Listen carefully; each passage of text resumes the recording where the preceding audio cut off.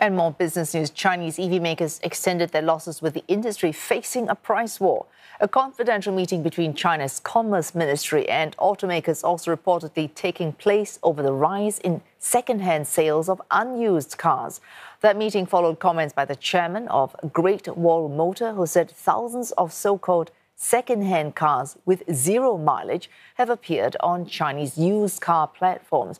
Well, that's a way for automakers and dealers to meet aggressive sales targets, the result of years of stiff competition in the industry. Hong Kong listed shares of BYD and Geely ending the day in the red, as well as the Hang Seng Automobile Index, following the report of today's meeting. BYD shares have lost more than a tenth in value this week after a major sell off yesterday when the EV giant announced price cuts as high as 34% on its electric and hybrid models. Analysts say it's a move by the automaker to protect its market share following its slowest year on year growth last month.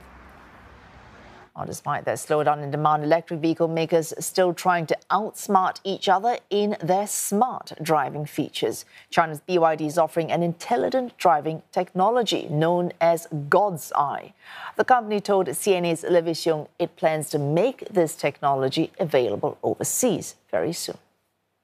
I'm Olivia Siong and I'm here at BYD's HQ in Shenzhen where they are keen to show us their latest intelligent driving technology as the race to go smart with electric vehicles heats up.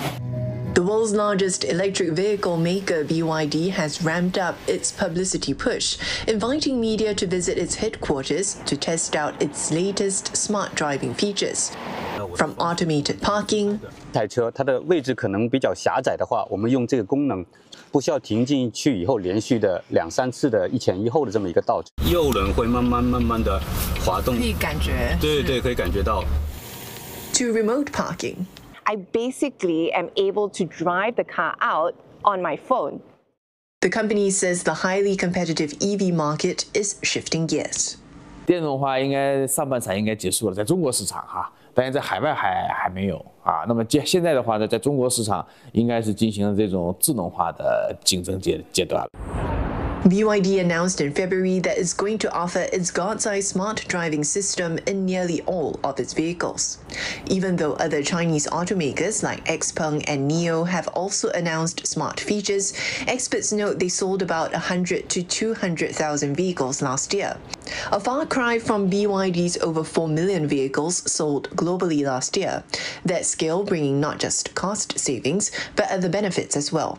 With all the data from the four or five million cars that it's going to be collecting, it'll get much better very fast. Whereas some of these other car companies who don't have as many vehicles on the road, it might take a little bit longer. But they're, they're already ahead of BYD currently. Whether they can stay ahead of BYD in the long term, I'm not sure. Countries and regions that likely weren't looking at adopting any type of intelligent driving technology for years. That's been pulled in by at least a decade for places like Southeast Asia, Latin America. Now, are they ready for it? That's a different question.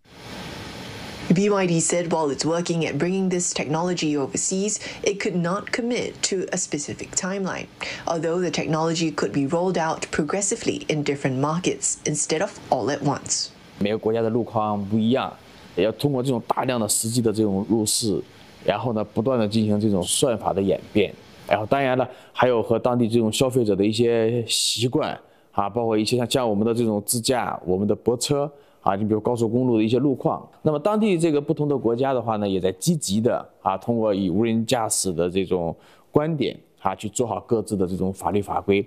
Experts add that data privacy is another challenge, while user acceptance is another factor to consider. 就是有顾虑，害怕就是像，比方说堵车呀这些会出现什么问题，要剐蹭这些的啊。我现在其实对新能源的车还在持怀疑态度，因为有太多就是不是出车祸就会起火、会落锁，这个事情是我比较担。This also comes as China seeks new markets for its vehicles to boost its economic growth and exports amid ongoing trade tensions and accusations of overcapacity by the likes of the United States and Europe. Olivia Siong, CNA, Shenzhen.